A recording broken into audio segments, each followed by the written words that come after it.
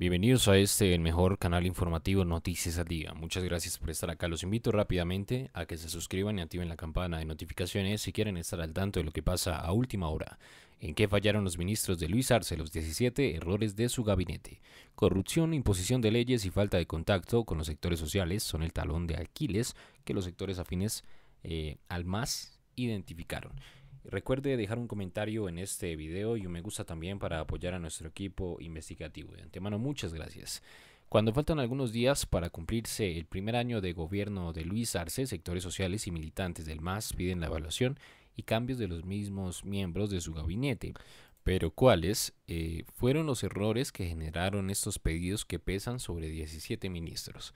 La corrupción, la falta de contacto con las organizaciones sociales, la imposibilidad de mediar en los conflictos y una actitud muy impositiva con la presentación de ciertas leyes son las observaciones que hacen dirigentes de las organizaciones sociales y militantes del partido oficialista.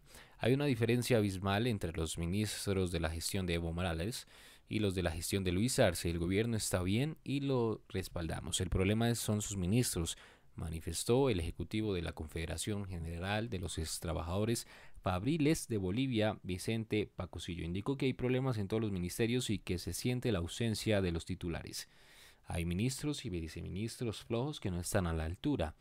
Si hay que cambiar, hay que hacerlo de manera inmediata y el presidente Luis Arce está en todo su derecho y ahora vamos a respetar. Así fue como dijo. Justicia y Gobierno en la mira. Los ministros de Justicia Iván Lima y del Gobierno Eduardo del Castillo son los más observados por los sectores sociales y militantes por el retraso en los juicios contra Yanine Añez en la reforma de la justicia y por lo ocurrido con ADEP Coca. Hay ministros que se han aplazado en 12 meses, no pudieron hacer su trabajo. Estamos hablando del ministro de Justicia que tenía una labor y no la hizo. Tal vez por miedo, no es el único, pero en este momento no voy a nombrar a todos, señaló el representante de las juventudes del MAS en La Paz, Álvaro Chuquimía.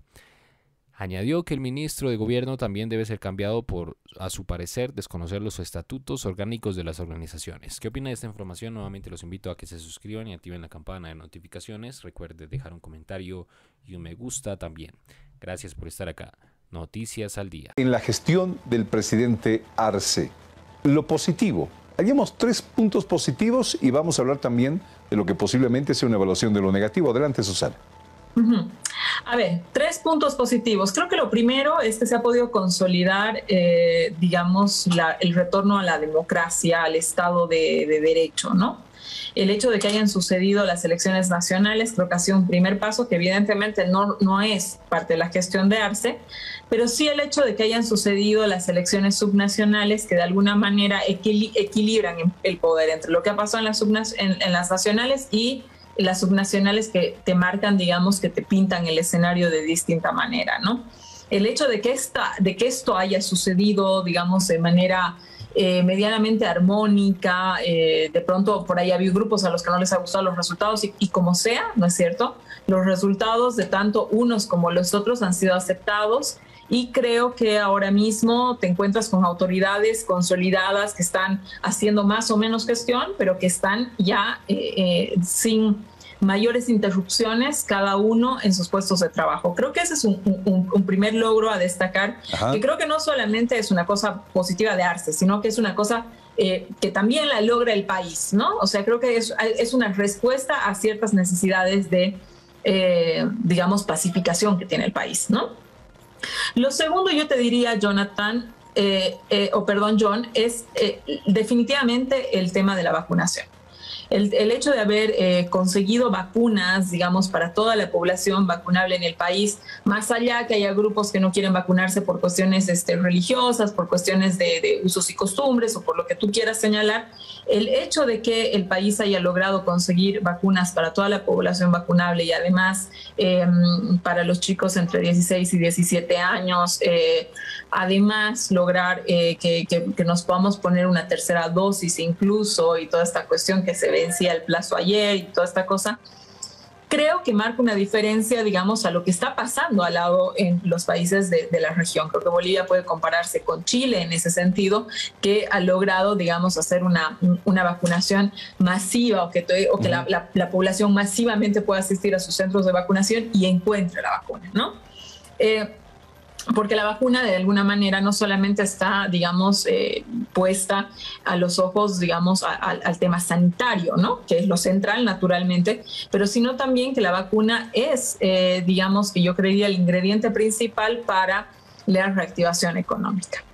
Lo tercero, eh, yo creo que el tema de las inversiones que han sucedido en el Estado, ¿no es cierto? Es decir, hubo una reducción del gasto público, ¿no? Eh, los funcionarios públicos se han reducido sus salarios entre el 3 y el 5%, eh, y hubo una reducción de, lo que significa el gasto público, pero no así no hubo una reducción en lo que significan las inversiones, ¿no? Eh, el hecho de que se hayan podido activar ciertas inversiones desde el, el Estado me parece otra gran señal que ha permitido, digamos, con eh, ciertas las dificultades que naturalmente existen y todo aquello, darle cierta credibilidad a la población de volver a activar, ¿no es cierto? Aquel mediano empresario que, digamos, tiene un restaurante, ¿no? No lo ha cerrado del todo, sino que le ha dado un segundo chance a, eh, a la oportunidad eh, de negocios, ¿no? Y eso se debe justamente a que el gobierno invierte, ¿no es cierto? A que no hubo medidas nuevamente de, de, restricción y todo aquello. Creo que yo creo que serían los tres grandes puntos que anotaría eh, como positivos. Susana, ¿ves puntos negativos en este primer año? Recomendaciones quizás. ¿Qué ha sucedido con Arce? Algunos criterios, por ejemplo, eh, que esgrime eh, algunos analistas, división en el país, Evo detrás del presidente Arce, leyes sin consulta, por ejemplo, algunos de los varios criterios. ¿Tú qué apuntas en este minuto restante?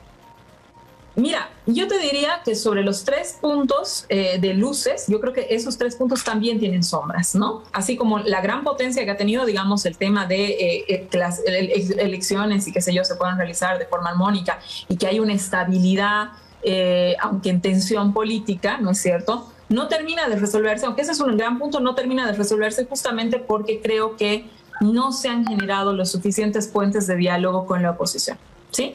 Y eso, digamos, se manifiesta y luego se interpreta en, por ejemplo, el tema de lo de las leyes, ¿no? El tema, la primera advertencia que has tenido, digamos, en el tema de, la ley eh, de ganancias ilícitas que se ha eh, que se ha venido para atrás, fue de la oposición, una, una, llamada de atención que creo que si hubiera sido atendida por la bancada oficialista, eh, quizás se hubiera resuelto de otra manera y no a través de paros, ¿no? Eso es lo primero.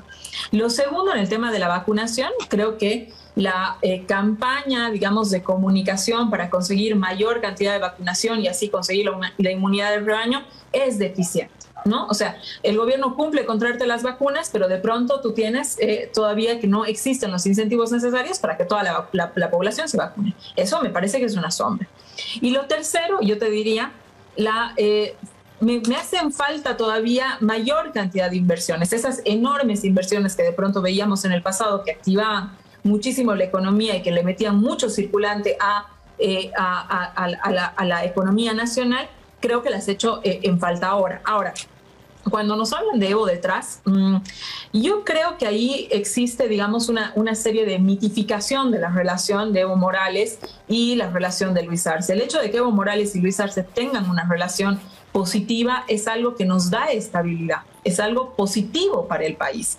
Es falso decir que Evo Morales está tomando decisiones. Si tú revisas todas las declaraciones de Evo Morales, tú no vas a encontrar en ninguna una declaración que diga yo he instruido a un ministro, por ejemplo, o he instruido al presidente Arce o voy a hacer esto. No, es que esas declaraciones no existen.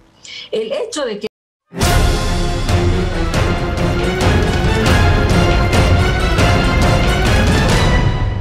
Si no te quieres perder de los últimos acontecimientos que pasan en el mundo, suscríbete y activa la campana. Somos Noticias al Día.